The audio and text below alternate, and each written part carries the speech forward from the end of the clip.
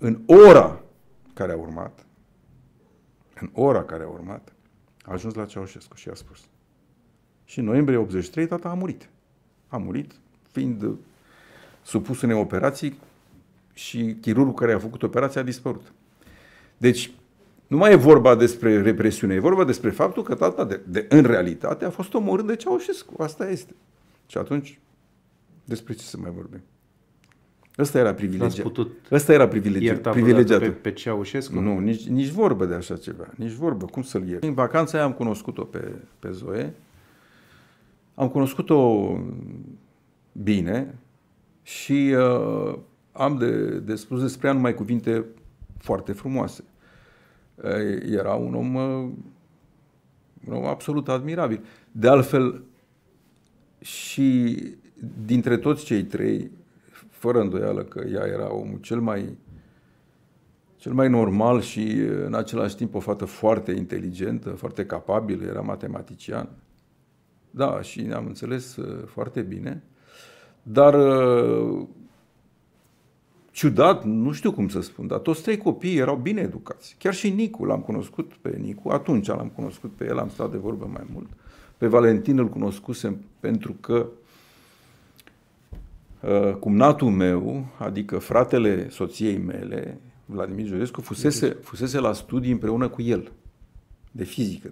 Între lucrurile pe care le strigam acolo, era jos Ceaușescu, bineînțeles, jos dictatorul, dar era și fără violență. Fără violență, evident, nu din partea noastră, ci din partea lor către, către noi. Adică ceva, ceva, ne mai gândeam noi. Ori până la urmă a fost ceva monstruos, pentru că, revenind, nu, la, la, la 20 de minute fără miezul nopții, ordinul Ceaușescu dat deja, dat, dat insistent, începând cu ora uh, două, lichidați baricadele, prin orice mijloace lichidați baricada, a fost pus în aplicare. Noi am crezut că cei care... Deci s-a declanșat, au început să, să, să stragă din toate părțile, am văzut cum, cum cad oameni. După aia ne-am făcut uh, socoteala, sigur, sufletul baricade era Dan Iosif, Ioșca, cum îi spuneam. Pentru că el, într-adevăr, uh, era uh, un fel de, de lider, așa născut. În 89 sunteți acolo pe baricadă și acolo în 89 da, spuneți despre Dumnezeu că i-ați simțit pentru prima dată mâna. Că da, din 81 că din, câți ați din, fost, din, 39 au din fost 39, 39 uh, murit. De, de, ce, de ce am scăpat eu, nu? Uh, ce, nu, nu pot să găsesc, nu pot să găsesc uh, altă explicație decât că așa a vrut cel de sus, divinitatea, nu? Pentru că și, și când am fugit de acolo, uh, am trecut prin cinci baraje militare. Și uh, nu, nu, na, ni, la niciunul din barajele astea n-am avut sentimentul că uh, ar trage în, în, în mine. Dar eu tocmai se trăsese, nu? Prin urmare, ulterior, ce ulterior? De-abia acum patru ani am aflat că armata n-a tras la baricadă era în primul rând instinctul de conservare, de supraviețuire, dar în același timp și o furie și groază și furie. Adică nu îmi venea să cred că se poate întâmpla așa ceva. Și se vedea că trăgeau de la 3-4 metri, 2 metri, securiștii. Au tras și cu arme cu lunetă de la, de la blocul Dunăre. Am ajuns sus la balcon, eram acolo, în față erau 100 de mii de oameni care strigau și așa și noi, na. Nimeni nu comunica. Și studenții mei se apropie și spune, domn profesor, domn profesor, avem un fir cu un microfon care să-l legăm la difuzor. Când vine firul, era, te ce? Microfonul era, uite așa, că degetul ăsta. Zic, bă băieți, voi ați auzit de impedanță, știți ce ai? Da, domn profesor, știm. Hai să încercăm.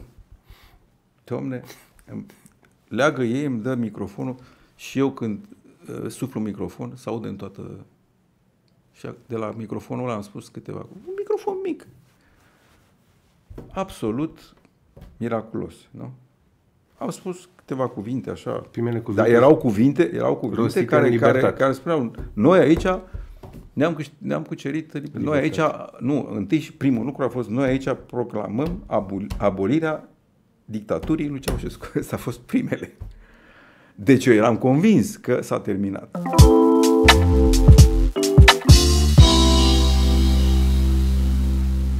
Bine v-am regăsit la un nou episod de altceva. Astăzi mi-am propus să deschid manualul de istorie, pentru că invitatul meu este unul dintre românii pe care orice manual de istorie îl va prinde multă vreme de acum înainte între paginile lui. Este, și nu voi greși, un personaj istoric. Este o filă de istorie și doar pentru faptul că a fost primul prim-ministru al României după Revoluție. Și dincolo de aceasta este unul dintre cei mai influenți politicieni români din ultimii 30 de ani și nu doar influenți, ci și iubiți. Bine ați venit, domnule Petre Roman. Mulțumesc foarte mult. Îmi pare bine să angajăm convorbirea noastră. Dumneavoastră, cum v-ați descrie? Dacă ne-am imagina un manual de istorie și fotografia dumneavoastră ar fi acolo, ce ați scrie sub fotografia dumneavoastră? Aș scrie profesor. Asta am fost toată viața. Chiar și atunci când eram în politică, n-am mai fost profesor din 20 mm, din 19 decembrie 1989 până în până în 2004. Cu toate astea, după aceea am reluat și acum sunt profesor. Sunt profesor și și în România și la Geneva și am mai fost și în alte locuri, așa încât uh, profesor este ceea ce mă caracterizează. Ai, m-ai întrebat ce aș spune eu. Uh, partea politică, toate lucrurile acestea sunt uh, o realitate foarte puternică din, din viața mea dar drumul meu ăsta a fost acela de profesor. Adică când am terminat eu Politehnica, în 1968, nu aveam 22 de ani, eram cel mai tânăr absolvent de Politehnică, fiind uh, șef de promoție, așa era atunci regula, cei care erau șef de promoție aveau marele privilegiu de a rămâne la catedră, adică de a rămâne în școală. Și așa am, s-a întâmplat uh, și în cazul meu. Uh, prin urmare, într-adevăr, uh, ce, așa am început și așa am fost, nu? Profesor, apoi, când am fost la doctorat, câțiva, câțiva ani mai târziu, cu o bursă a statului român, la, în Franța, la Toulouse, mi-am făcut doctoratul și am devenit și acolo profesor la trei universități din din Toulouse. Și tot așa. Va urmări catedra în, în permanență și dumneavoastră pe ea, dar până să deveniți profesor, cum vi-l amintiți pe Petre Roman din urmă cu șapte decenii? La mijlocul anilor 50, când uh, aveați uh, nici 10 ani. um, eram uh, un, la, la vremea eram un băiat mai degrabă uh, capabil de isprăvi. capabil de isprăvi. Uh, tata era destul de, uh, la un moment dat, destul de, de îngrijorat, fiindcă îmi plăcea teribil de mult să fiu în stradă, să fiu în... Se să dea un spirit să, de revoluționar. Da, să fiu în, în, în cum să zice, pe Maidan, cum era vremea aia. Noi aveam o, o curte foarte mare cu niște copaci foarte bătrâni și jucam fotbal acolo, câte și mai câte. Uh, îmi plăcea să, să merg la uh, Herăstrău. Acolo este, chiar când intri în Herăstrău, știți că uh, sunt niște stăvilare și niște cluze. Da? Și îmi plăcea să mă arunc acolo, să mă bag pe dedesubt. Am făcut uh, năzdrăvănii la un moment dat, uh, sub. Uh, uh, e o ecluză și apa, când se deschide, curge peste un prag. Și eu mă băgam sub pragul ăla, pentru că sub pragul ăla, nivelul apei era cu cel din laval, deci avea un spațiu de, de aer. Și eu mă băgam acolo, stăteam acolo. Era cascada dumneavoastră? Și da, era destul de periculos, fiindcă apa aia când curgea, în naval erau niște, ceea ce se numește niște spărgători de, energie, de flux, de energie și uh, dacă te lozbeai de ei, nu era bine deloc. Și uh, dispărând eu acolo, deci asta era, mă rog, ideea mea să-i, să-i fac pe cei cu care eram să zică, domne, unde e, unde e? Unul dintre ei s-a dus, nu locuiam foarte departe, locuiam pe Ale Alexandru. Și unul s-a dus până acasă și a spus, domne, uh, uh, Petrișor nu mai e. Fai de mine, tai că mi-a venit până acolo, nu m-a, nu m-a văzut. Uh, s-a speriat, s-a speriat săracul de el și seara era foarte, foarte necăjit și a trebuit să-i povestesc de fira păr ce am, ce am pățit. Adică pe la vârsta aia făceam uh, năzdrăvănii, cum se zice. Uh, una, una cam, uh, cam uh, oarecum periculoasă a fost că noi uh, aveam o distracție uh, preferată. Uh, filmele se făceau pe celuloid, nu? Așa erau, din celuloid. Acum, sigur că totul este Tehnologia di, di, digital, digital, digital. Dar alea erau din celuloid. Iar celuloidul ăsta, dacă îl strângeai așa, îl făceai uh, niște spirale așa lungi și le dai foc, sărea în sus ca o rachetă. Erau rachetele noastre. Adică putea să sară și 20 de metri. Era, dacă știai să... Și ni se terminase nouă celuloidul.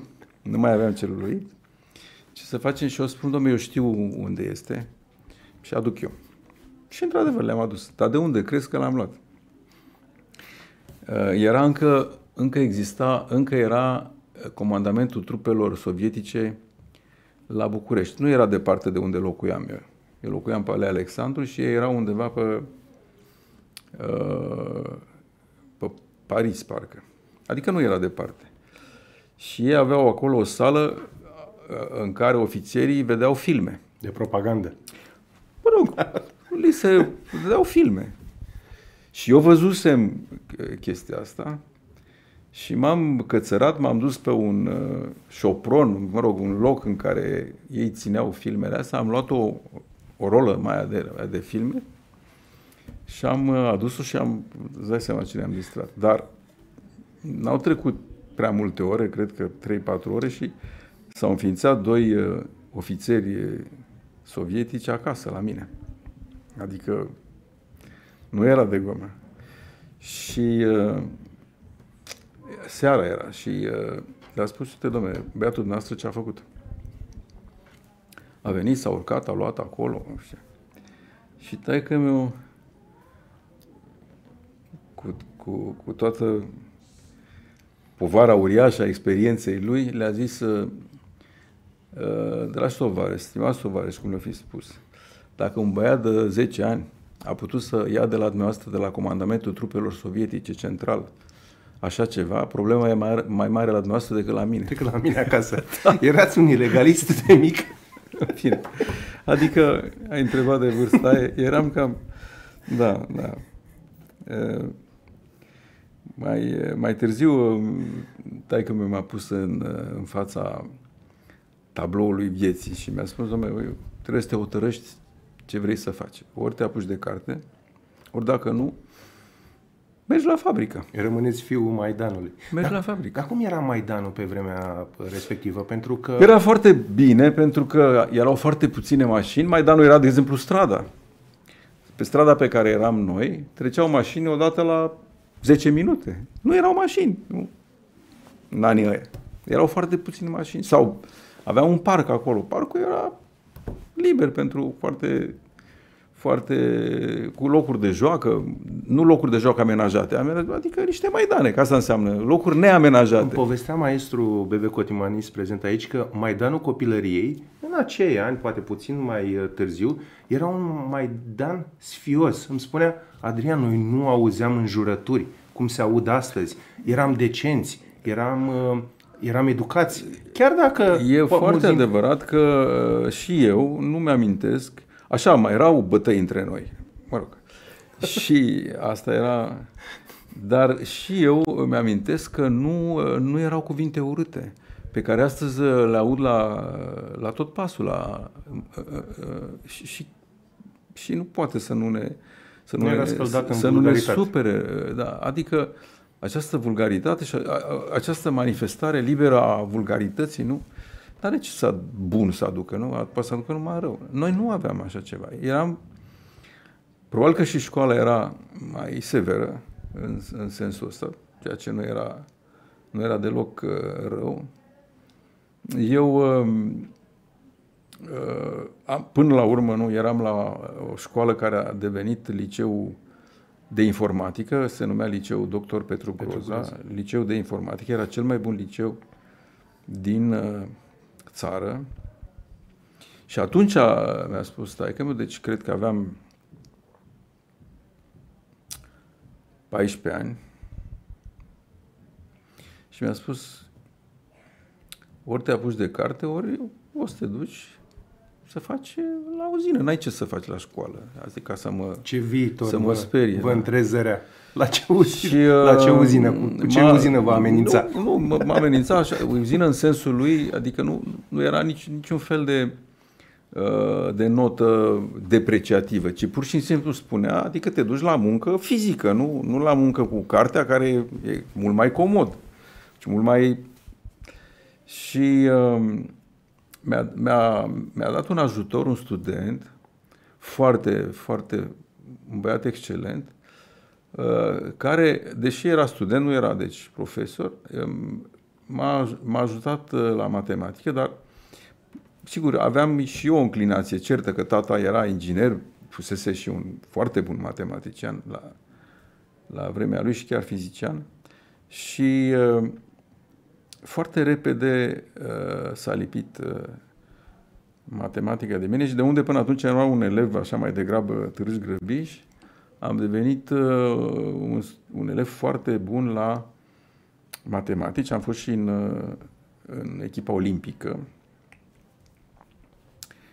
Uh, și aici uh, acest lucru s-a datorat, sigur, uh, acestei întâlniri cu studentul, dar în special aveam o, o profesoară, profesoara noastră de matematici, Lucreția Carp, care era din celebra familie Carp, care era o femeie extraordinar de, adică un profesor desăvârșit. Era un om bun și sever în același timp.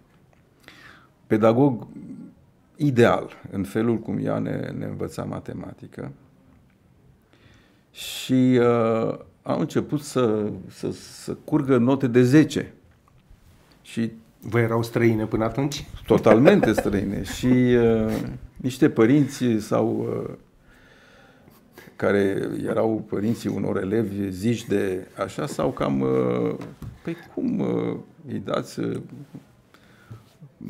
Romani era de 6 cel mai bine, 7, 5 uh, și mai rău.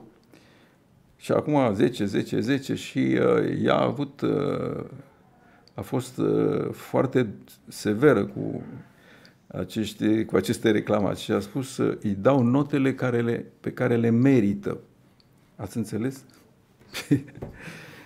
am mai întâlnit-o pe profesoara Lucreția Carp când am avut uh, în 2000 mm, 13, mi se pare, când am avut uh, am avut, am avut întâlnirea promoției la școală.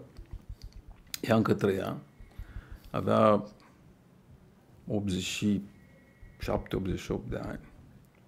Se ținea foarte, foarte bine. Încă dădea meditații. și ne-am întâlnit. A fost un moment în care nu știu de ce a aflat presa de chestia asta și au- erau la școală acolo erau toate televiziunile imaginabile, toți. Și au, bineînțeles, întrebau de... Cereau cum catalogul dumneavoastră. Era, da, au cer, s-au dus și au cerut catalogul și le-a arătat directoarea, le-a arătat că, uite, da, într-adevăr, deci avea note foarte, foarte bune la matematică, foarte bune La ce materie aveți la probleme? fizică.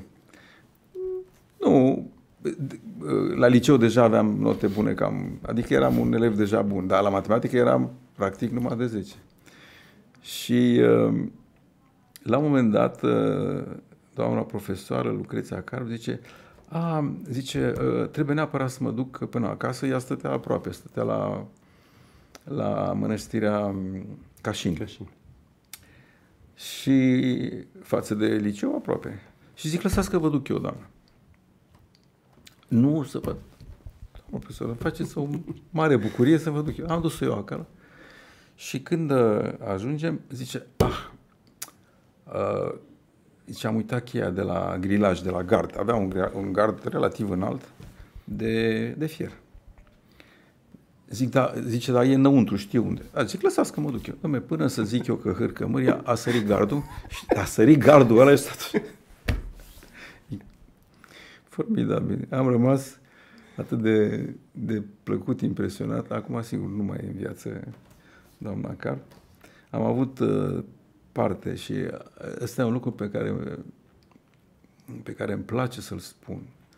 Am, în cartea mea de memorie am și scris despre câțiva dintre marii profesori. Am vorbit de profesorii mei de la Politehnică. Am, am avut oameni uriași.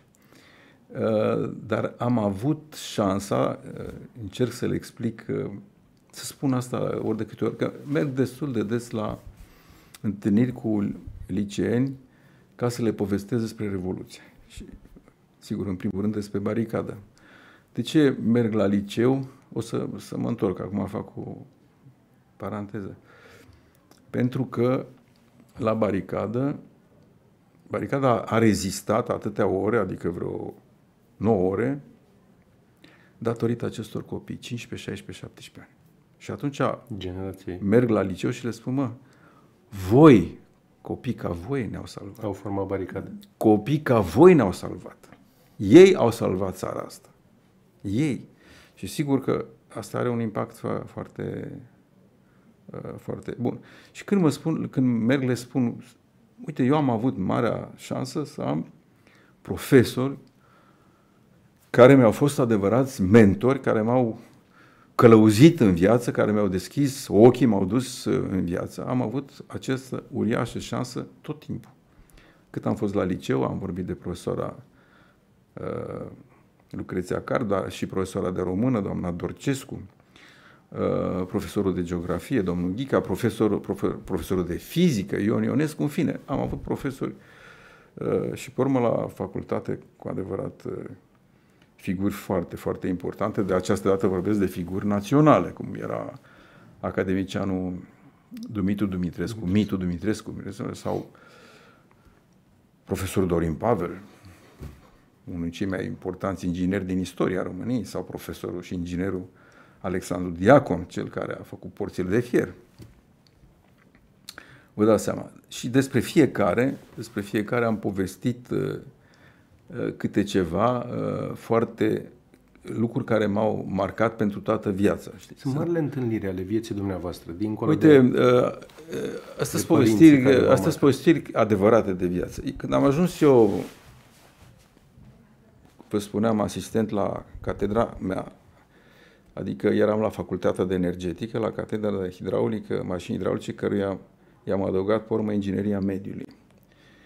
O, un departament foarte mare, foarte important. Era condus de academicianul Mitu Dumitrescu, care era și secretarul general al Academiei. La vremea aia însemna foarte mult.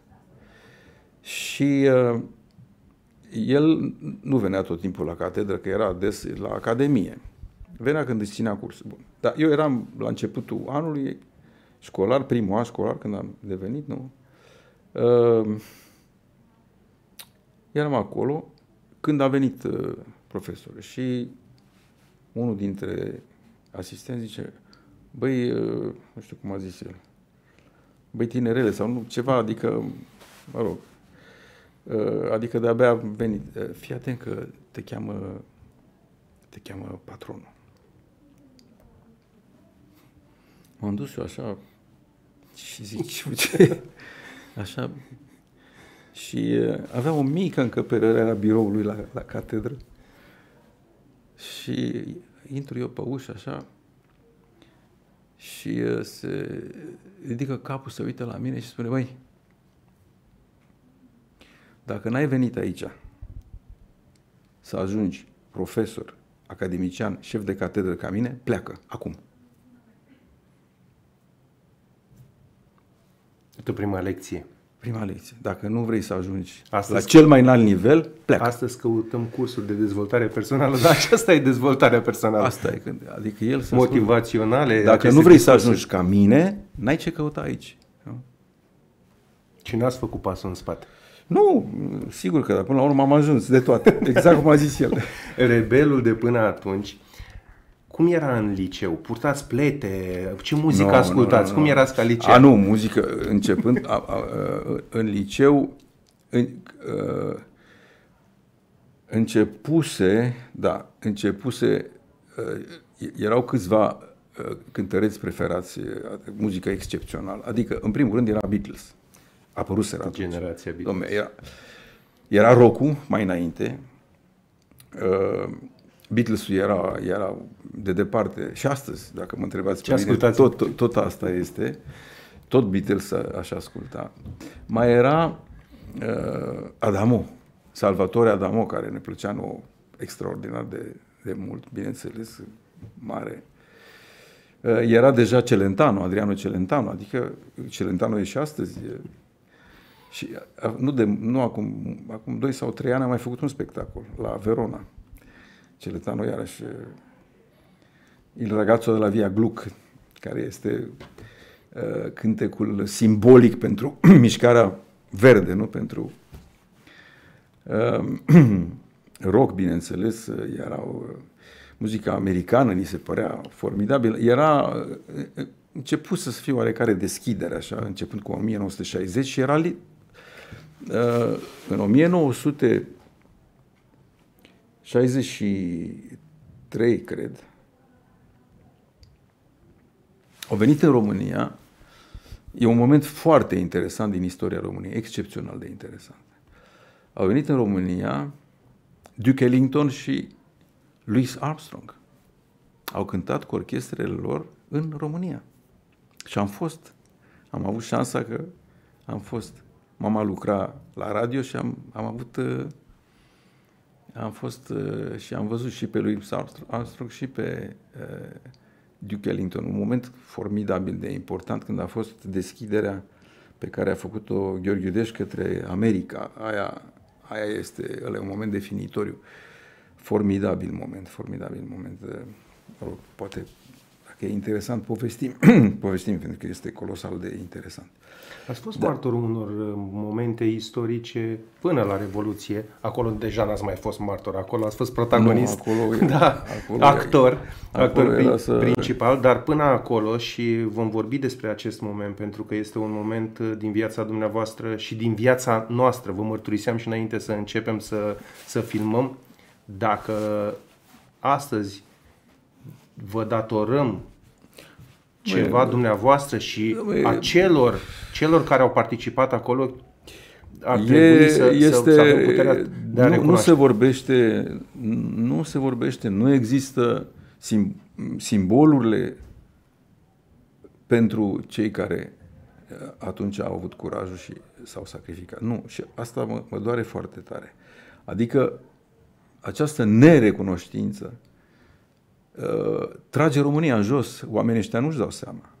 Oamenii ăștia nu-și dau seama. Atunci când uh, atunci când uh, când, uh, când eram prim-ministru am trăit uh, momente foarte, foarte complicate și tensiune aproape tot timpul, tensiune maximă. Eram într-o permanentă luptă cu realitatea românească și, bineînțeles, în, în politică. Dar ulterior, când am, a doua oară când am câștigat, adică 96, atunci, atunci trebuia să, uh, să fie uh, impus în Parlament aceste... Un singur lucru s-a reușit, și anume în Constituția României, la, chiar la articolul numărul 1, acolo se spune foarte mult, foarte bine ce îi datorăm Revoluției Române. Dar simbolistica, la București, nu, la baricada, Vă doare faptul că parcurgând la pas Bucureștiul nu întâlniți nicio nu, dar nici mărturie. dacă nu întâlnești la baricada, unde totuși a fost momentul de, de răscruce. Fusese Timișoara, Și uh, în, în rest încă nu se întâmpla nimica. S-a întâmplat la București în ziua de 21, când uh, la mitingul convocat de Iliescu, s-a spart, de Ceaușescu, s-a spart. Bun. Și de acolo am format... Cum ați ajuns acolo? Eu la baricadă am ajuns de la, de la Politehnică, de la catedră. Adică baricada a început să se formeze, ideea baricadei a avut-o Romeo Raicu, nu? camaradul meu, cu Radu Silaghi, cu uh, Rada Istrate, cu Ionel Popa. Ei pe la ora 1 au început să formeze baricada. Eu am aflat de baricadă și am ajuns acolo spre ora 4. Și am rămas până la sfârșit. Pe data de 21. 21 decembrie, decembrie. seara.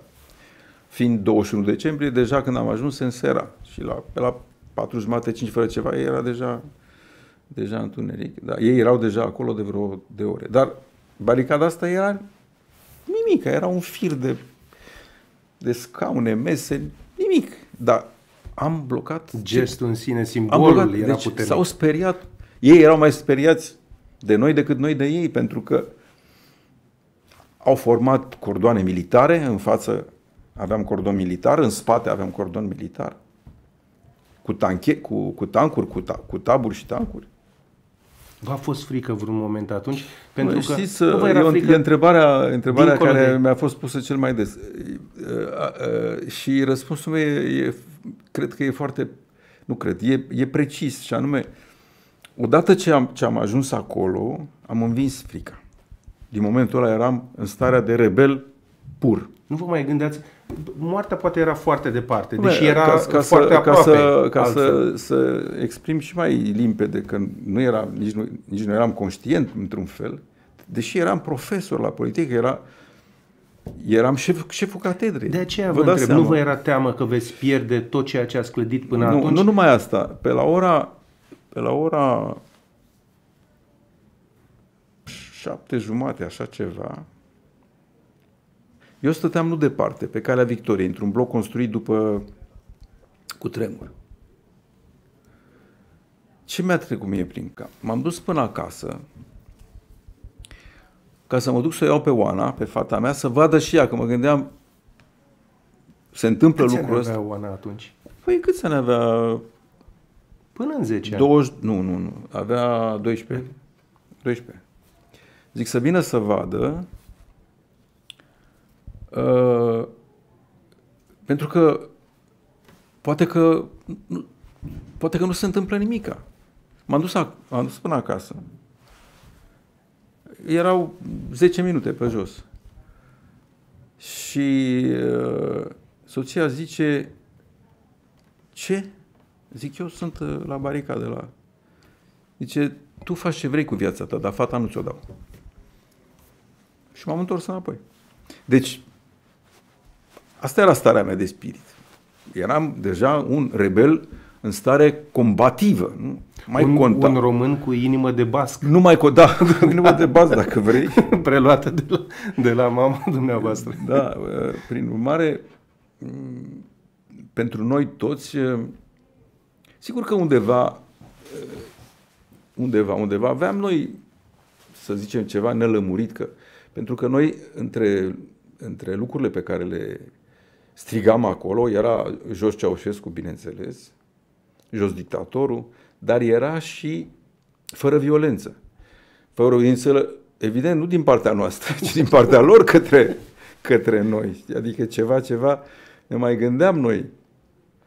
Ori până la urmă a fost ceva monstruos, pentru că, revenind, nu, la, la, la 20 de minute fără miezul nopții, ordinul lui Ceaușescu dat deja, dat, dat insistent începând cu ora uh, două, lichidați baricadele, prin orice mijloace lichidați baricada, a fost pus în aplicare. Noi am crezut că cei care... Deci s-a declanșat, au început să, să, să stragă din toate părțile. Am văzut cum, cum cad oameni. După aia ne-am făcut uh, socoteala. Sigur, sufletul baricadei era Dan Iosif, Ioșca, cum îi spuneam. Pentru că el, într-adevăr, uh, era uh, un fel de, de lider, așa născut. Eu nu mi-a, nici nu m-am gândit uh, să-mi asum vreun rol în sensul ăsta.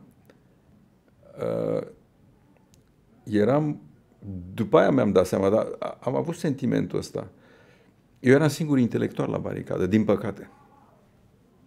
Niciodată n-a... E un lucru destul de... Și îi vedeam parcă pe toți mai tineri. Eu aveam 40 de ani, deci eu, ca să zic, nu mai eram... V-ați întrebat ce căutați acolo? La nu, nu, absolut. Dat? Știam precis ce caut acolo, că atunci când m-am zis că mă duc acolo, era clar. Eu nu mai, nu mai acceptam să trăiesc sub regimul lui Ceaușescu. Foarte clar. Dar de ce? Cu orice, cu orice mulți risc. ar putea spune și au fost atâtea, de-a lungul anilor, probabil multe nedreptăți și multe răni v-au fost deschise. Mulți au spus, de ce Petre Roman, când era un privilegiat al regimului... Dumne, nu era tatăl... deloc privilegiat regimului, pentru că în, să fi fost un Tatăl meu nu a ocupat niciodată o funcție importantă. Era director editurii politice. Ok. A fost un comunist generos, pentru că a luptat în războiul din Spania. Mai Civil mult. din Spania, celebru. Nu, a, a fost rănit de două ori. A fost recunoscut pentru meritele lui în Spania, a fost recunoscut printr-un decret regal al regelui Mihai I. Nu comuniștii au, da. Și sigur, prim-ministru era Petru Groza, care a fost nașul, nașul meu de botez, de botez. De asta, da eu, eu m-am întrebat, îl întrebam pe tata, zic, bine, domnule, dacă Petru Groza a fost naștere, de ce nu mă cheamă pe mine Petru? Și abia acum câțiva ani s-a scris o carte despre el și am văzut certificatul de botez al lui Petru Groza, îl chema Petre. Petre. Din cauza asta sunt eu Petre și nu Petru. Ok. Așa încât uh, uh, și în plus, uh, tocmai pentru că fusese în Spania, la un moment dat Stalin a dezlănțuit o, o represiune împotriva tuturor voluntarilor din Spania, au fost uciși în toate țările, în România nu, pentru că Gheorghe Deș s-a gândit foarte bine. A fost arestat în 52 și a stat până în februarie 53 uh, la securitate când l-au luat pe tata, mama care cu tata fusese în Rusia și știa ce se întâmplase acolo, ne-a strâns, eram cu bunica, ne-a adunat pe noi, încă nu era sora mea cea mică, nu se născuse Carmen, mama era însărcinată și ne-a spus, copiii s-ar putea să nu-l mai vedeți pe tatăl vostru. Eu cu bunica suntem aici să avem grijă de voi. În fine, i-a dat drumul pentru că Gheorghe deja se gândea la se, cum să separe România de Uniunea Sovietică. De, deja avea în cap. El, el vrea să meargă pe drumul lui Tito, care sigur că Tito a, urmat un drum independent și a fost foarte bine pentru Iugoslavia. Foarte, foarte, uh, foarte bine.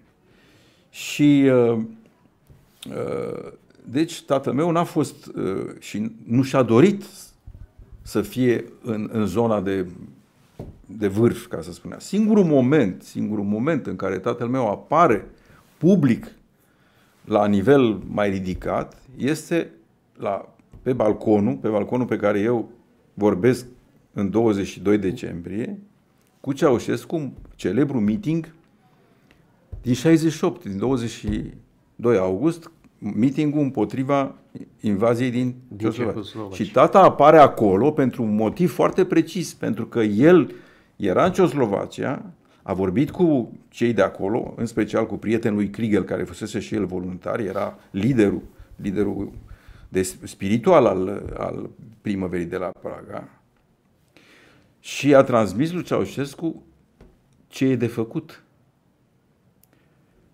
Și pentru acest motiv, Ceaușescu l-a invitat să fie pe balcon. Eu am văzut poza asta acum doi ani, prima dată, și l-am văzut pe tata acolo. Și m-am gândit de ce și pe urmă mi-am, mi-am, mi-am dat seama de ce, din motivul ăsta.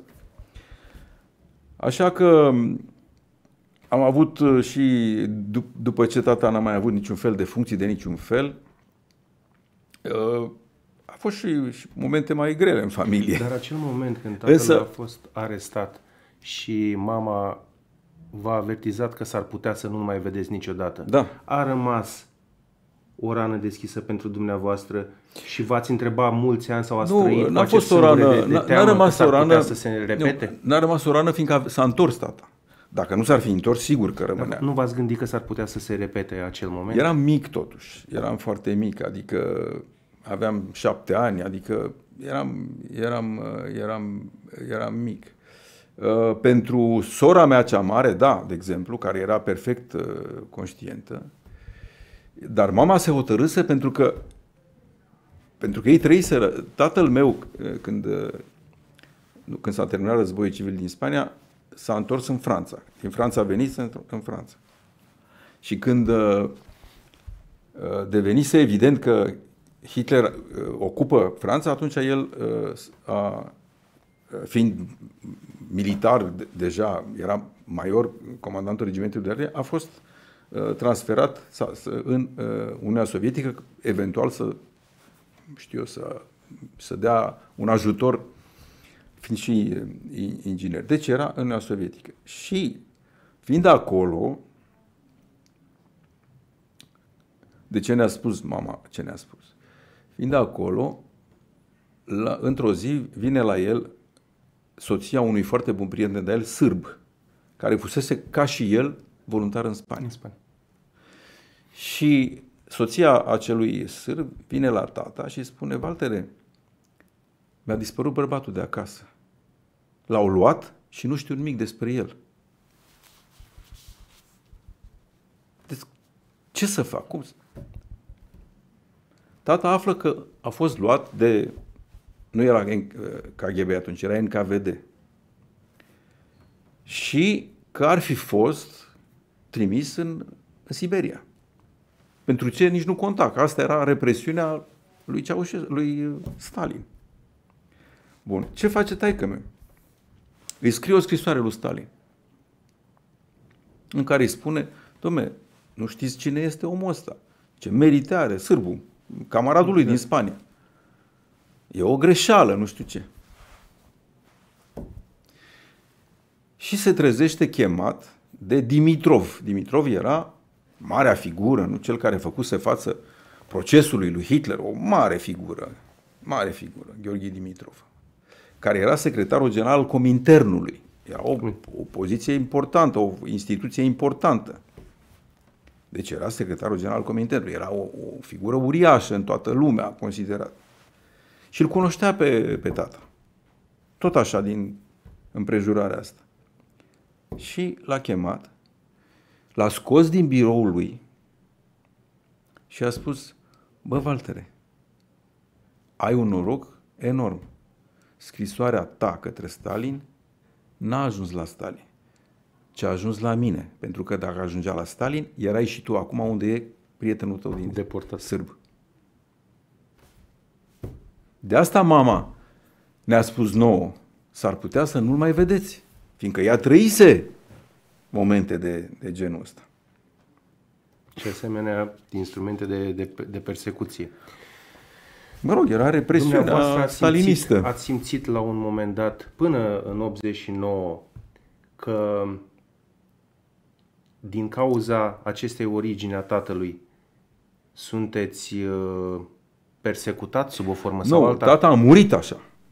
Mai, mai vorba de mine, e vorba de el. El a murit în, în, în, într-o, în momentul când uh, s-a confruntat cu Ceaușescu. Adică a fost foarte, uh, foarte direct uh, momentul ăsta. Foarte direct a fost. Adică în 1983, tata mi-a spus, mi-a spus, el a, s-a luptat cât a putut ca să mențină steagul unei normalități, a unui, a unui minim de democrație, mă rog, democrație cât putea să fie, dar da, de normalitate. Și văzând că Ceaușescu, în 83, Ceaușescu o ia razna.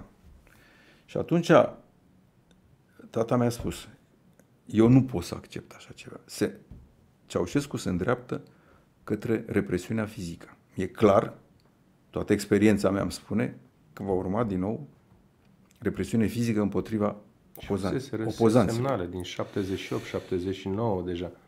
Și în, în, la începutul lui 83, în, în ianuarie 83, el mi-a spus, eu trebuie să fac ceva. și voi face ceva. El era într-o relație apropiată, aparent uh, prieteni, cu George Macovescu, care fusese ministru de externe, președintele Uniunii Scriitorilor, mă rog, o figură cunoscută. Și erau bun, buni prieteni, însă tata știa ce știa în ce privește. Și i-a spus lui, Macovescu, știind bine că Macovescu îl va turna. Va transmite mai departe. Și a spus, dacă Ceaușescu declanșează represiunea fizică, eu mă adresez prietenilor mei socialiști și comuniști din Occident. Din Franța, din Spania, din Italia. Atunci și-a semnat sentința? Și atunci, bun, spre surpriza lui tati, tati totuși, Macovescu n-a așteptat o zi, două, trei, nu. În ora care a urmat, în ora care a urmat, a ajuns la Ceaușescu și a spus. Și în noiembrie 83 tata a murit. A murit fiind supus unei operații și chirurgul care a făcut operația a dispărut. Deci, nu mai e vorba despre represiune, e vorba despre faptul că tata, de, de, în realitate, a fost omorât de Ceaușescu. Asta este. Și atunci, despre ce să mai vorbim? Ăsta era privilegiat. Ăsta era privilegiat. privilegiat. Pe, pe Ceaușescu? Nu, nici, nici vorbă de așa ceva. Nici vorbă. Cum să-l ierți? Cu această piatră pe Că lumea, lumea, lumea zice, domne, zice, domne, ai, ați, uh, n-ați fost acolo, dar ați, uh, erați în zona când s-a hotărât uh, să fie Ceaușescu mă rog, dus în judecat și să fie executat. Zic, să fie executat nu s-a pus problema. Dar mie, mie îmi puneți problema asta, eu care aveam pe tata mort, Ucis, practic, de asasinat. asasinat, vă rog foarte mult, nu cereți mie să fiu îngăduitor cu așa ceva. Dar nu, și n-au, n-au fost, n-a fost chiar un caz izolat, au fost destul de mulți. Nu? Avem cazul care și acum este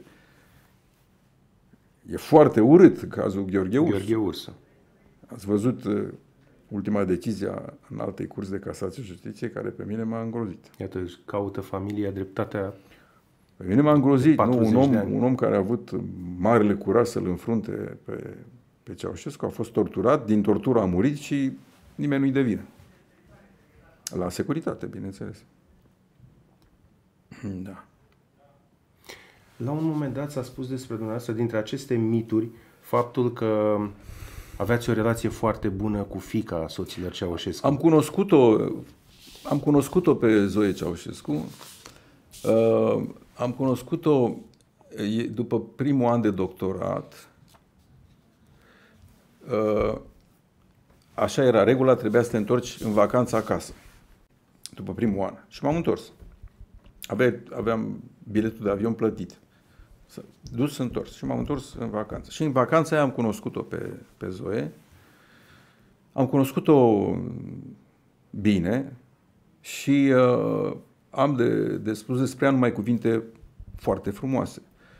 Uh, era un om, uh, un om absolut admirabil. De altfel, și dintre toți cei trei, fără îndoială că ea era omul cel mai cel mai normal și în același timp o fată foarte inteligentă, foarte capabilă, era matematician.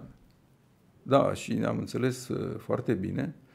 Dar uh, ciudat, nu știu cum să spun, dar toți trei copii erau bine educați. Chiar și Nicu, l-am cunoscut pe Nicu, atunci l-am cunoscut pe el, am stat de vorbă mai mult. Pe Valentin îl cunoscusem pentru că uh, cumnatul meu, adică fratele soției mele, Vladimir Georgescu fusese, fusese la studii împreună cu el, de fizică. Cumnatul meu, un mare matematicien. La Londra. Un mare Anglia. matematician. Nu la Londra, la Geneva. El la, la Geneva a fost. Uh, el, uh, ăsta cum îl cheamă, Valentin la Londra, da. Fratele la Geneva, dar erau într-o relație foarte apropiată. Prin urmare, nu, nu, nu, nu pot să spun despre copiii ăștia nimic, uh, nimic rău. Nici măcar despre Nicu Ceaușescu Găseam nu pot în, să spun. uh, documentând discuția de astăzi o declarație a unui uh, domn, probabil că ați luat și dumneavoastră la cunoștință de ea, un uh, fost colonel de securitate, Dumitru Burlan, care povestea că la un moment dat uh, uh, vă filau pe dumneavoastră și că vă țineați uh, de mână cu uh, Zoe, uh, moment în care, la care ar fi asistat și uh, tovarășa Elena Ceaușescu, care după acel nu, episod N-am, uh, n-am cunoscut da. pe, nici pe Elena Ceaușescu, nici pe el nu i-am cunoscut. care după acel episod v-ar fi exilat la studii Nu e- în Franța. Nu e- nu e Dar înțeleg că nu era e- pentru că nu ați e deloc cunoscut-o adevărat. ulterior. Am cunoscut-o după primul an, uh, obținusem deja după primul an, obținusem prima diplomă, diplomă se numește 2A, diplomă etude aprofundii, adică diplomă de studii aprofundate, care îmi permitea să uh, continui studiile de doctorat pentru că recunoașterea diplomei, diplomei de inginer nu era automată. Deci trebuia să obțin întâi o diplomă franceză pentru că apoi să, să pot... Numai că după primul an am, am devenit și profesor acolo, la trei universități din Toulouse. De ce ați revenit în România? Când am terminat studiile, uh, nimeni nu credea de acolo că eu mă mai întorc în România, așa, pentru că aveam totul asigurat, eram deja profesor acolo, terminasem doctoratul. Da. Însă, uh, mama, uh, să fiu mai exact, la susținerea tezei mele de doctorat a fost invitat și Mitu Dumitrescu. Eu am fost în, încântat și a fost, a venit și el venise cu o misiune din partea asta, din partea familiei. Al minter a fost acolo, sigur. Să vă A fost repatrieze? un doctor. Nu, nu, nu, nu. Nu, nu, nu e așa. Nu, mitul nu făcea el de astea în niciun caz. Nu, el mi-a spus din potrivă, băi, uh, eu, eu și mama ta credem că nu are rost să te mai întorci. Era în 1974. Credem că nu are rost să te mai întorci. Uh, tatăl tău probabil că nu crede așa. Ori, ăsta a fost pentru mine un semnal uh, foarte clar. Adică devotamentul ăsta fără margine al tatii pentru, pentru țara lui, pentru România, ar fi fost profund, uh, profund rănit dacă eu nu mă întorceam. Ați Adică fost alegeam, dezamăgit. alegeam, da. Și n-am putut să fac asta. N-am putut. În afară de faptul că, din câți am plecat noi atunci la doctorat, singurul care s-a întors am fost eu. Deci era o, era o bursă a statului român. A fost gândită treaba asta de Mircea Malița, care era ministrul învățământului. Și a zis, domnule, în domeniile de vârf în care România nu are specialiști, trimitem fie la studii, fie la doctorat. În total am fost 200 la studii sau la doctorat. La doctorat mai puțini. Din cei 200, cei mai mulți erau la studii, cei mai mulți la bun. Cei care au plecat în Occident, că unii au plecat la, la doctorat și în, la, în Rusia, la Moscova, de exemplu, au făcut treabă foarte bună în domeniile de inginerie, de exemplu, de inginerie nucleară, de exemplu. Foarte bun. Avea o școală foarte bună, nu era problemă. Și uh, din grupa asta, singurul care s-a întors am fost eu. Dar eu habar n-aveam lucrul ăsta. Dar era și sentimentul meu, domnule, cine m-a trimis aici? M-a trimis statul român, nu? Acum, eu... Deci, deși directorul școlii, directorul Institutului de Mecanică a Fluidelor, unde eram eu, și, nu el, nu, profesorul, profesorul care lucram eu, profesorul Claude Tirio, pe care eu îl invitasem în România, și fusese în România, a făcut o vizită în șapte, a făcut o vizită în 75. Dar atunci când uh,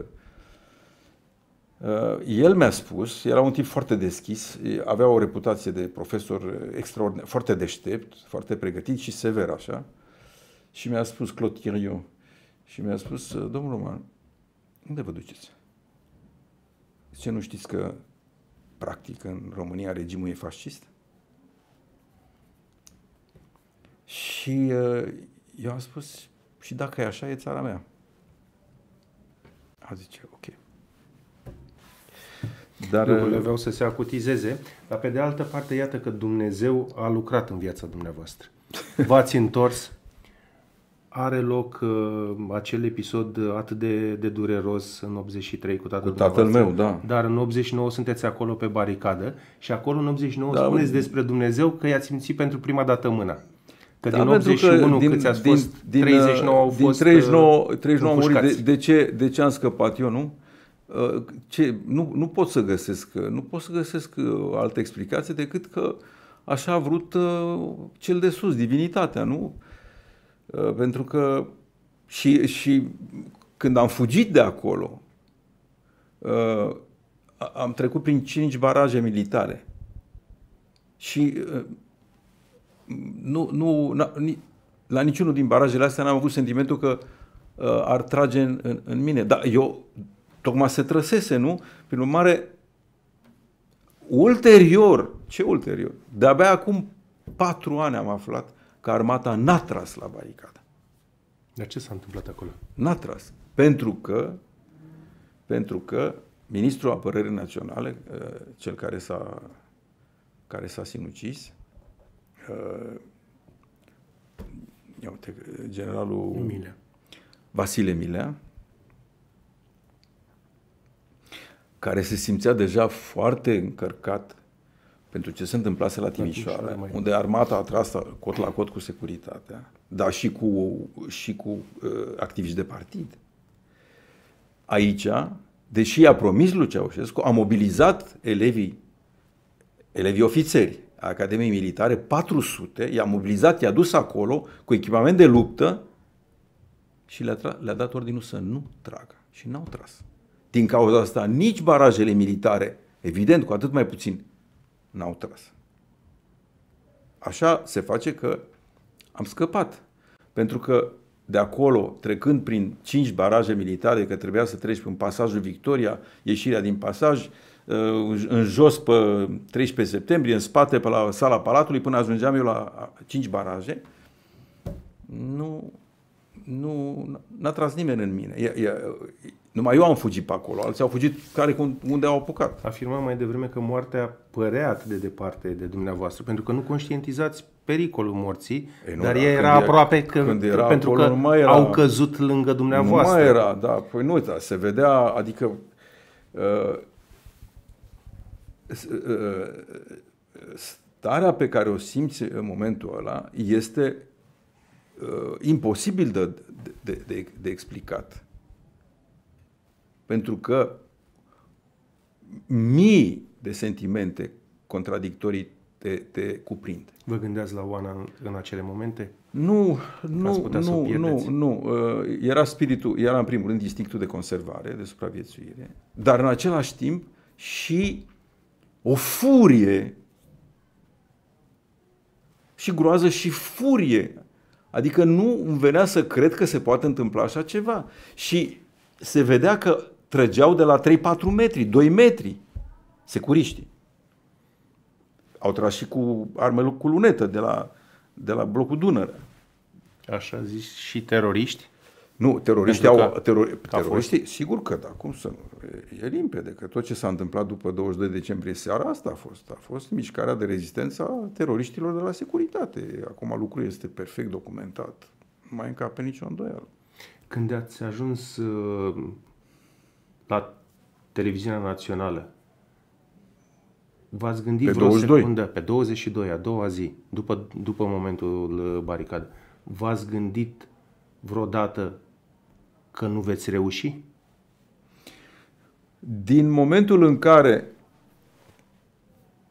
Ceaușescu fuge, N-ați mai avut nicio Eram sigur. Pentru că eu, eu sunt primul care vorbește de la balcon. Și eu asta spun.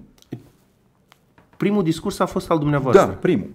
Da, imagine da, sunt da, filmate. Da. În față era o mulțime. Nu contestă nimeni, absolut Nu, nu, nimeni. e, asta... Dar cine, cine v-a uh, pus microfonul? Uh, nu, uh, asta, asta iarăși ține Cine v-a împins în față? Asta, m-a împins nimeni, eram acolo, tot de la Politehnică, venit cu un grup de la Politehnică, eram 16 pe care i-am luat eu de la Politehnică și care am venit acolo. Și am ajuns chiar sub balcon. Dar iar e un fel de, de, de de minune, pentru că în piață se afla un, uh, un microbuz cu un difuzor puternic. Microbuzul aparținea unei instituții de proiectări de cercetare din domeniul energetic, ICMNR se numea,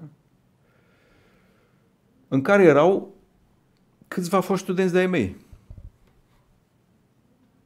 Și ei veniseră cu acest microbus, care servea, uh, el, când făceau, când făceau uh, cercetări în uh, liniile electrice pe câmp, făceau anumite cercetări măsurători, nu? aveau nevoie de difuzorul de ăsta. De a comunica.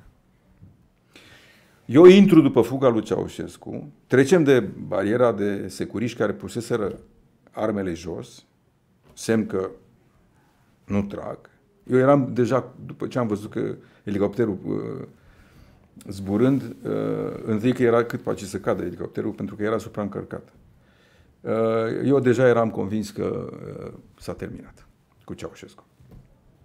Ăsta a fost sentimentul meu. Bun. Am ajuns sus la balcon, eram acolo, în față erau 100 de mii de oameni care strigau și așa și noi, na. Nimeni nu comunica. Și studenții mei se apropie și spune, domn profesor, domn profesor, avem un fir cu un microfon care să-l legăm la difuzor. Când vine firul, era, te ce? Microfonul era, uite așa, că degetul ăsta. Zic, bă băieți, voi ați auzit de impedanță, știți ce ai? Da, domn profesor, știm. Hai să încercăm. Domne, leagă ei, îmi dă microfonul și eu când uh, suflu microfon, să aud în toată... Și de la microfonul ăla am spus câteva... Un microfon mic. Absolut miraculos, nu? Am spus câteva cuvinte așa. Primele cuvinte. Dar erau cuvinte, erau cuvinte care, care, care spuneau, noi aici ne-am, ne-am cucerit libertate. Noi aici, nu, întâi și primul lucru a fost, noi aici proclamăm abol, abolirea dictaturii lui Ceaușescu. Asta a fost primele. Deci eu eram convins că s-a terminat. Și după aia am ajuns la, după ce n-am putut să comunicăm și știind că totuși fără televiziune lumea, țara nu află, atunci m-am deplasat la televiziune și acolo, mă rog, a fost uh, uh, proclamația care o scrisesem pe balcon, am citit-o acolo. Fine, da. Când v-ați întâlnit pentru prima dată cu Ion Iliescu? Uh, la, la Revoluție? La Revoluție. Acolo. Eu ieșeam de la televiziune, el intra. El a ajuns târziu, a ajuns pe la două și ceva.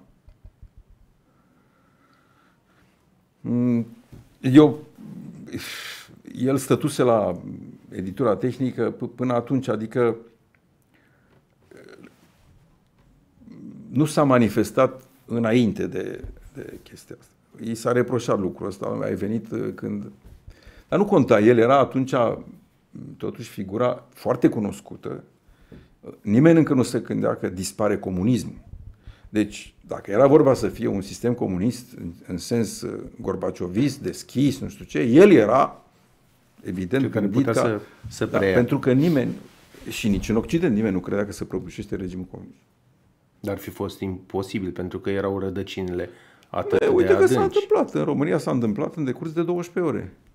Te gândești că la 12 noaptea, puțin înainte de 12 noaptea, au tras în noi și la 12 ziua Ceaușescu a fugit și regimul, regimul, regimul propriu-zis a dispărut. Practic, a, s-a colapsat instantaneu. Ați apărut în acele zile, ați fost, uh, spuneam și mai devreme, uh, protagonist, o figură centrală.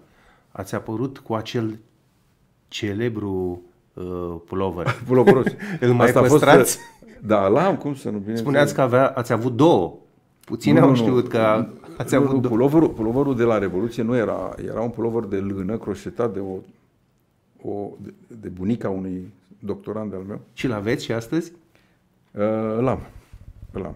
Era un pulover de ăsta uh, cum să cum, cum sunt puloverele la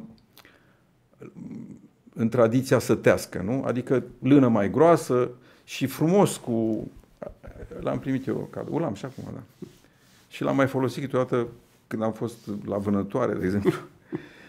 Dar în momentul când ajung prim-ministru, m-am decis pe niciun caz nu mă îmbrac în costum. Și aveam puloverul ăsta, care era foarte frumos, un fel de roșu... Ați ajuns 27 7 decembrie. decembrie. Da. Și din momentul Iniți- ăla, Inițial provizor. din momentul ăla am purtat uh, multe zile, multe zile numai, uh, numai puloverul ăsta cu, cu cămașă, inclusiv în uh, interviul la celebru cu Anne Sinclair de la TFA, care a fost pe 7 ianuarie, tot în puloverul ăla eram. Și din cauza asta a reverberat peste tot, adică Roman în, în puloverul roșu. Da. Dar Îl am, cum să nu? Îl Ce am, istorie are acel pulover?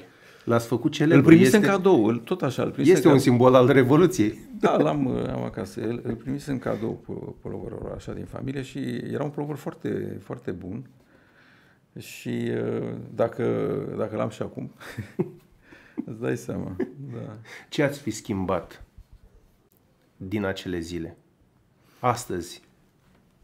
Ce, Ce să greșeală ați schimb, făcut atunci, ce poate? Să, nu, în momentul ăla... Nu, nu, așa, istoria contrafactuală nu, nu e, după mine, nu e un exercițiu foarte util, mai ales în împrejurările astea, pentru că sunt lucruri care uh, uh, viitorul vine peste tine, așa te copleșește te, și uh, câtă informație dispui despre ce se întâmplă, mai ales unul ca mine, care nu fusese deloc în niciun fel de legături politice. Eram a- adesea acuzat, mă rog, mi se spunea, tovarășul profesor, sunteți și șef de catedră și la cea mai mare catedră și nu știu ce și nu aveți activitate politică. și eu răspuneam, n-am timp, eu am treabă. Da, ați avut slavă Domnului Dumnezeu. N-am timp, am treabă. N-am timp. Am, Nici, am... nici nu știau de fapt că nu și-ar fi dorit ca dumneavoastră să aveți activitate politică. Și, în fine, mă, mă cam lăsau în pace, fiindcă la, pol- la Politehnică erau totuși oameni de, de foarte bună calitate. Foarte, inclusiv, inclusiv rectorul și chiar și secretarul de, de, de, de partid uh, erau oameni de, de bună calitate. Nu, nu, nu pot să spun. Uh, uh, în, în 1987 7, a fost un episod în care eu puteam să ajung direct la pușcărie. Și uh, ei m-au protejat. Pentru că în 87, una dintre uh, ultimele măsuri uh, ticăloase așa a a lui Ceaușescu a fost adoptarea legii secretului de stat. Această lege a secretului de stat făcea vulnerabil pe orice român. Din orice puteai fi arestat.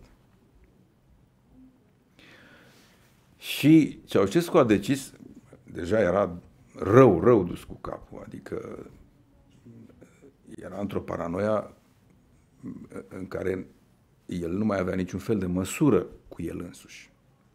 De asta a și distrus economia în perioada aia, că economia nu trebuia să ajungă în halul ăla. Aveam destule elemente solide în economie. Foarte solide. Și el a dispus ca această lege să fie prelucrată în absolut toate instituțiile din România. Toate. La Politehnică a fost adunat Senatul Politehnicii, a fost prima prelucrare înainte să ajungă la facultăți, era la nivelul Politehnici, Senatul Senat. Politehnicii. Eu făceam parte din Senat ca șef al departamentului. Și a venit să ne prelucreze legea un colonel de securitate, care a fost prezentat colonel, care era destul de prost și agresiv, încât a început, s-a ambalat așa și a început, fiți atenți, nu știu ce, nu merge, aici nu ne jucăm, adică a început să ne amenințe. Și eu n-am mai răbdat. N-am mai răbdat. Când a terminat ăsta,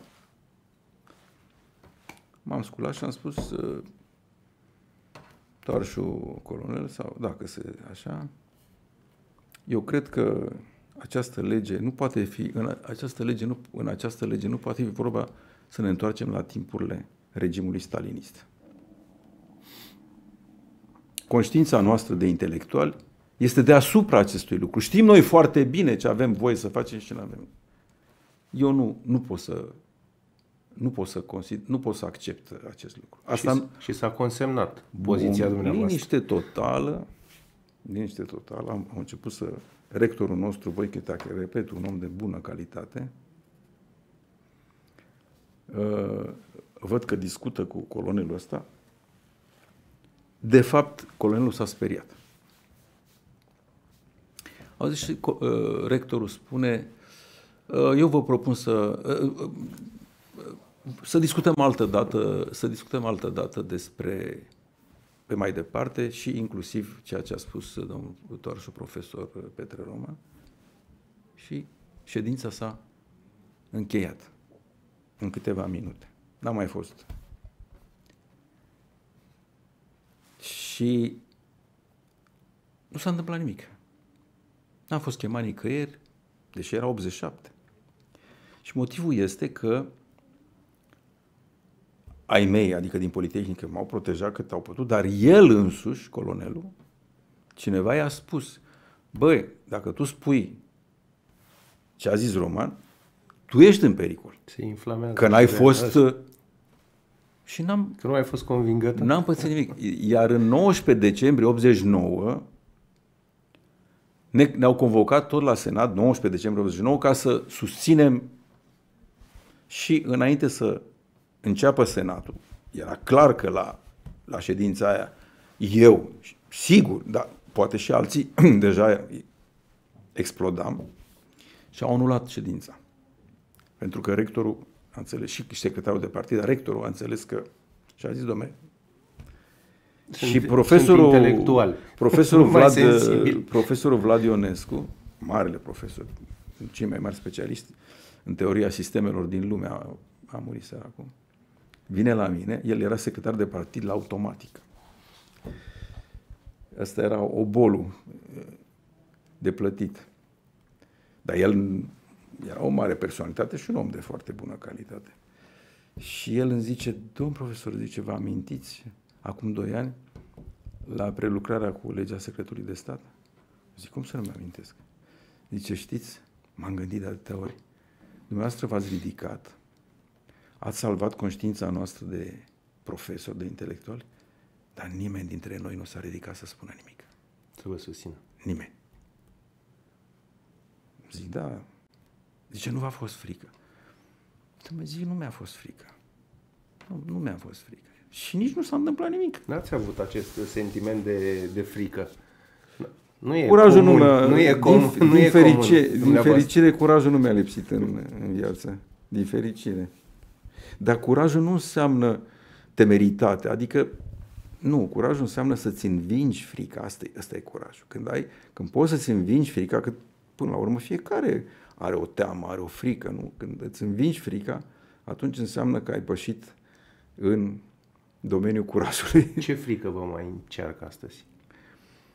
Nu mă, nu mă încearcă frica, nu. Nu, n-am de ce.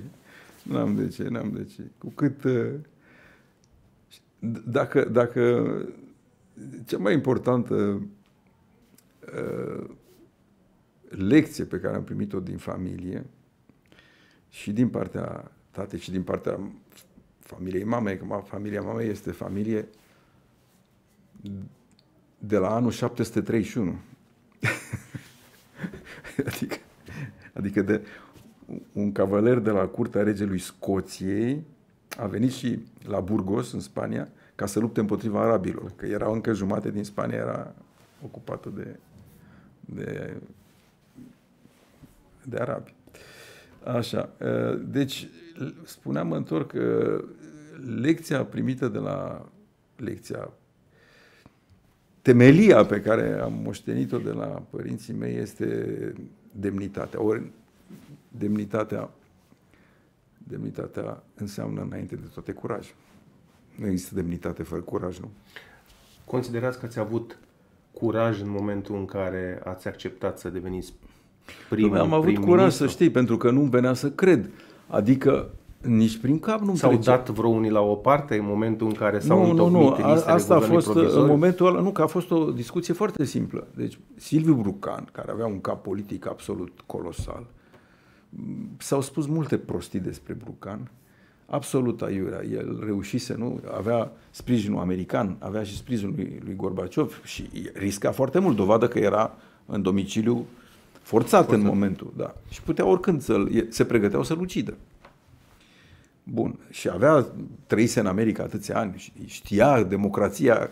A scris o carte Gustase foarte, din democrație. A scris o carte importantă, el se numește Originile politice americane, care este și acum o carte citată în America. Și Brucan i-a spus lui Iliescu, Iliescu sigur că mă cunoștea foarte bine, și Brucan i-a spus lui Iliescu, mă zice, că Iliescu zice, acum ne trebuie un prim-ministru. Și Brucan zice, păi, el. E profesor, e, știi, și a făcut studiile în Franța, a trăit în democrație și mai presus de orice are ceva care noi nu avem, are legitimitatea baricadei. Pa, perfect. Și îmi zice Ilescu, era să cadă cerul pe, peste mine, nu? Cum? Zice, da, da. Zice, asta este. Mai păstrați legătura cu domnul Iliescu? Nu, nu l-am, nu, nu l-am, nu. Între noi relația după aceea s-a stricat rău de tot. La mineria de aia din septembrie 91, el, el a fost părtaș până la urmă, tacit, tolerat, nu știu cum, dar a fost unul cu îngrozitor, ne-a dat înapoi cu 5 ani, nici acum să E știi și că- motivul pentru care ați candidat uh, pentru președinție Trebuia, în, trebuia uh, să candideze în 96? 92, asta a fost greșeala. Trebuia să candideze în 92, pentru că dacă eu câștigam în 92, ceea ce era foarte posibil, pentru că eu aveam popularitate mai bună decât el atunci, Și de ce nu ați candidat? dintr-o prostie, na, dintr-o prostie, pur și simplu, că, tre- că îmi țin nu știu ce promisiune pe care o făcusem la convenția din, din martie 92, o, o, o greșeală. Dacă am făcut uh, o greșeală mare, politică, în viața mea, asta a fost. Ați mai candidat astăzi la președinție?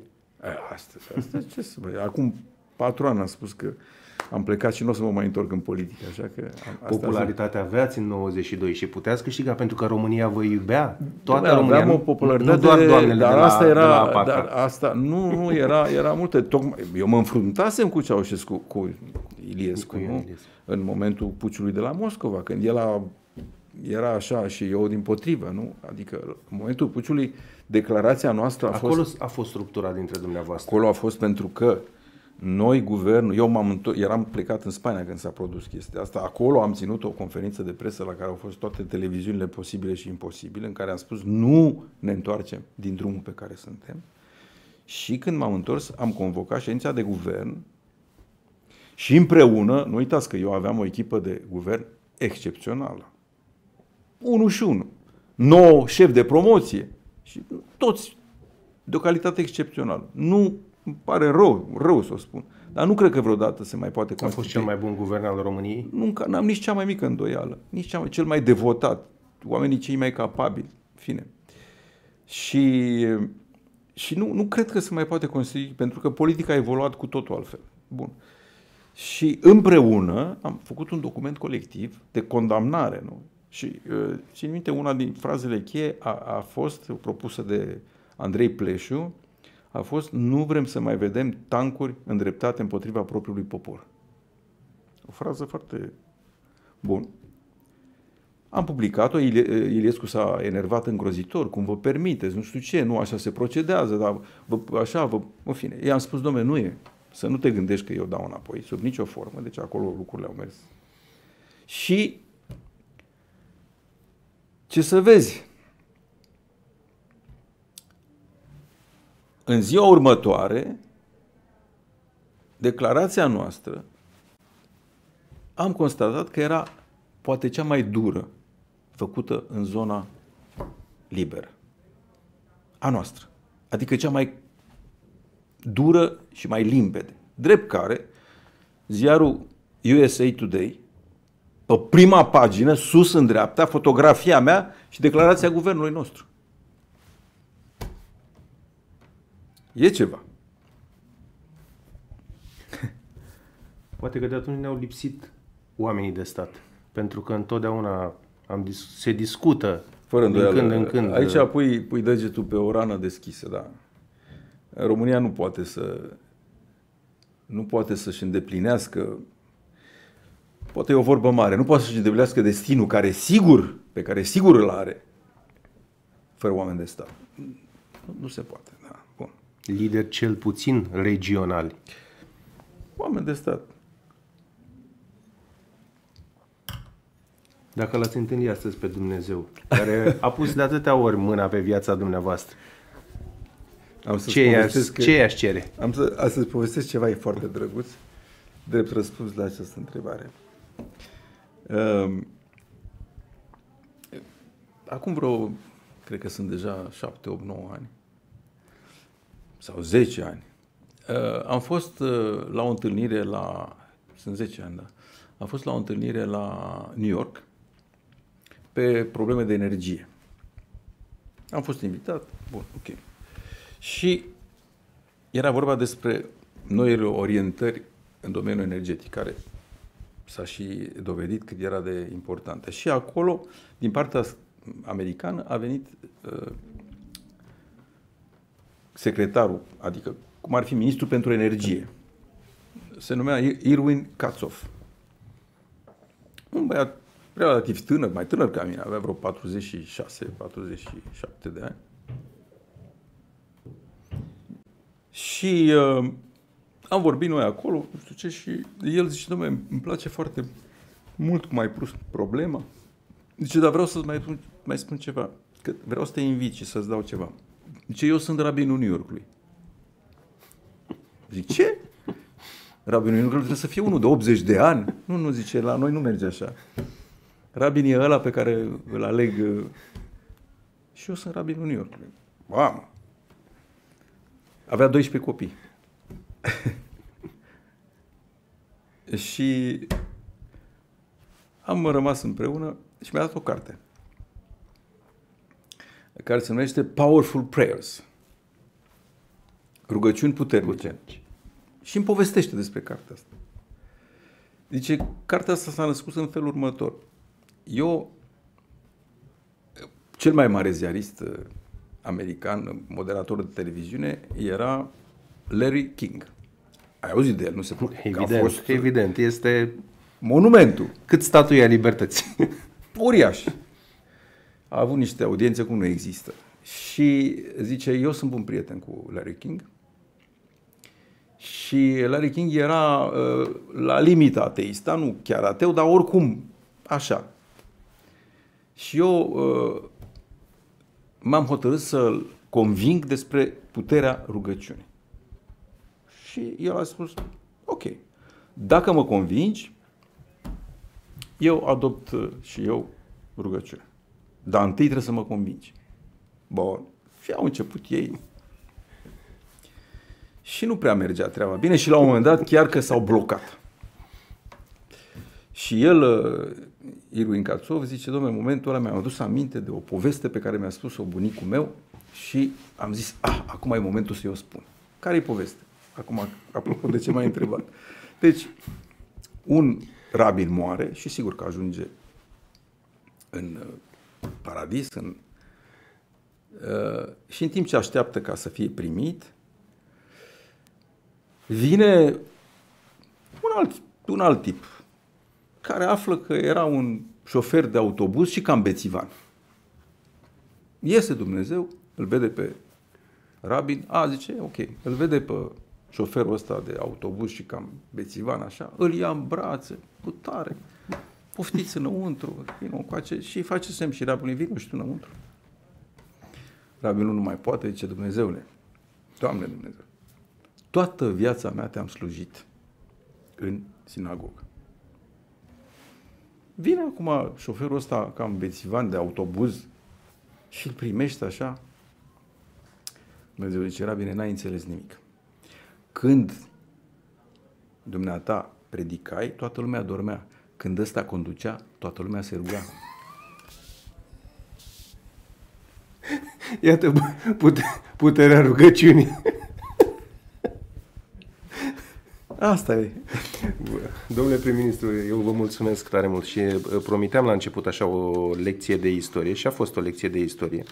Nu știu o lecție de istorie fost, cât să stârnească, a fost, a fost povești. cât să stârnească și um, interesul, alții pot studia pe marginea ceea ce a însemnat uh, chiar e de dorit. acea perioadă și, și Revoluția.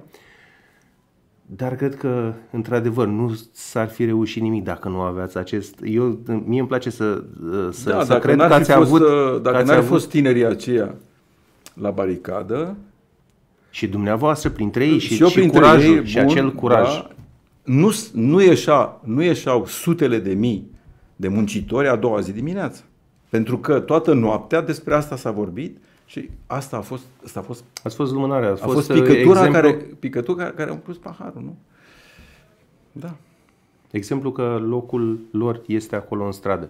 Și într-adevăr este o lecție, iată și acest dialog, că niciodată nu trebuie să ne pierdem nădejdea, trebuie să, să Nu, fim e- nu inconștienți, cum spuneați dumneavoastră, ci pur și simplu temerari. Da, s- Să ne învingem fricile. să ne învingem frica atunci când uh, chiar trebuie să o facem și uh, uh, întotdeauna cu convingerea că,